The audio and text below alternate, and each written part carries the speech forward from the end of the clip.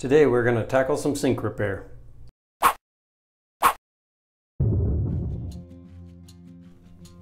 So my kids were saying that the sink wasn't working properly. Trying to get them to describe what's going on is pretty tough and truthfully I would have a hard time describing it too. So we came and checked out the sink.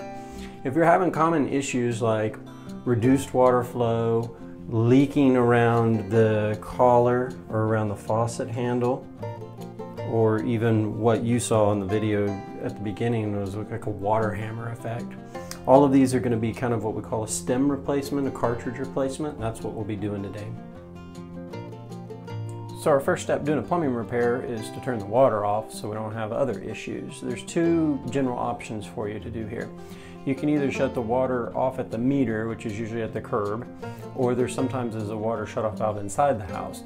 The advantage to doing this is uh, it prevents any leaks at the individual shut-off valve, but the con to it is, is all the water's off inside the house. If you choose to do it that way, just make sure you tell everybody in the house you're turning the water off, and also you want to think about turning off your ice maker so that it doesn't try to make ice while you have your water shut off. The second option and the more practical approach is to turn it off at the individual water shut-off valve, which is going to be located underneath the sink here. This is the method we're going to try today. The disadvantage to this is there's a possibility that this valve could leak if it hasn't been used in a long time, so we need to double check that when we're done with our project. You're going to turn your valve all the way to the right to shut it off. A good thing to do when you're working on a sink project like this is to pull your sink stopper up and place a towel in the sink basin just in case we drop a part or something like that, it didn't fall down the sink and make your day worse. Now that we have the water shut off, we're going to turn our, our sink valve on and just relieve any pressure if there happens to be any. The next thing that we're going to do is try to remove this handle. Different handles are going to be designed different ways, but what we're going to do is actually unscrew this piece here so that it gets it out of our way. There's a little Allen screw here. We'll unscrew it and then attempt to take the handle off. If you find the handles difficult to come off, which often they can, try squirting a little WD-40 and letting it sit for a while and then slowly trying to work it off.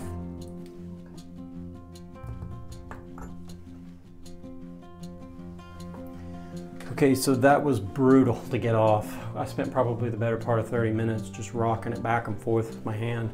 I found that the screwdriver really didn't help a ton. It also kind of marred my surface slightly. I'm not too worried about that, to be honest with you. Probably upon retrospect, a better method would have been to have squirted some WD-40 down in your hole, let that just sit for 30 minutes and then come back.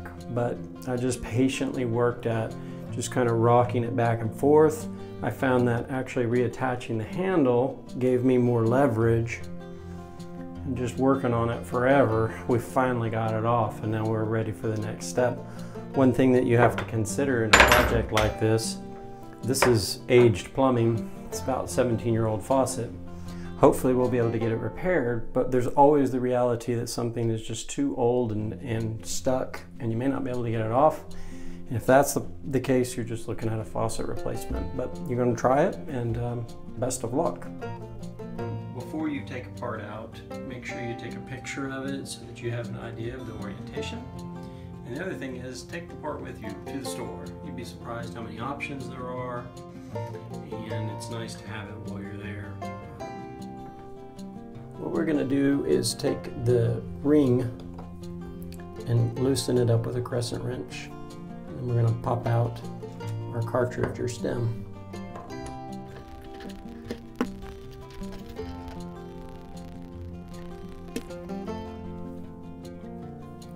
So there's a rubber washer down inside there that you have to remove and a spring. I just luckily got them both at the same time.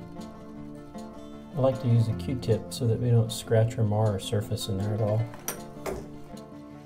So basically at this point, we're gonna just reverse the process that we took everything out with. Particular faucet, there's a spring and a rubber washer.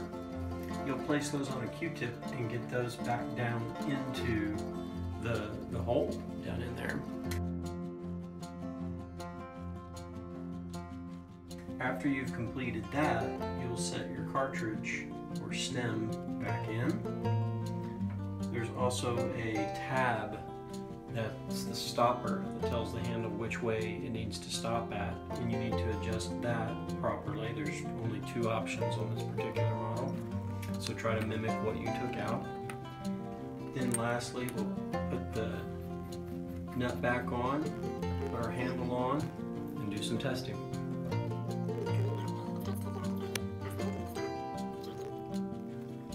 We were having a problem getting it to go on correctly. Nut was starting to feel like it was off center or balance. We call it kind of cross threading. So I just took it all apart, started over again until I was able to get it set in the spot, into place, and then the nut starts to spin a lot smoother and it has the right, a correct feel to it.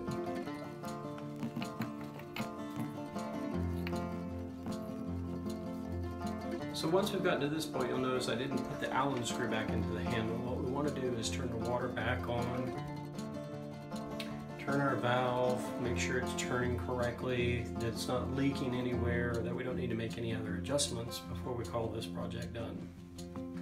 Now that we know it works, turns on and off right at about the right angles, didn't see any leaks, and so I moved the original handle. We'll set our final Allen screw back in, which keeps the handle nice and secure, and we'll screw the last handle on.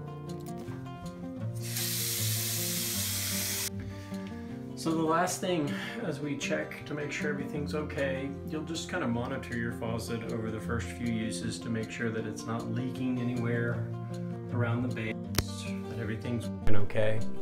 And the other thing you need to check a few times is the valve that you turned off underneath the sink. While that valve made this project a lot easier than turning the whole water off because it took a while to get everything done, that valve can leak when it hasn't been used for long periods of time. So you can check it, make sure it's not leaking. The most common places it's going to leak is on the, we'll call it the valve stem here. And if it is dripping a little bit, you have a new project or repair that you'll have to do. You can just put a little Tupperware bowl or something underneath it until you can get to that project. Other than that, I'm glad to wash my hands of this one and we're done.